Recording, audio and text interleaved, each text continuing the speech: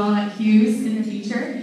Um, this is, as Carlo said, this is the Panther Jazz Band. Um, all these students are here by choice. Uh, we originally met once after school, once a week, um, and now we meet for about half an hour, 35 minutes, uh, for three days a week in the middle of the day. Um, but these kids love jazz music so much and band so much that they decided to have even more music and even more time playing their instruments.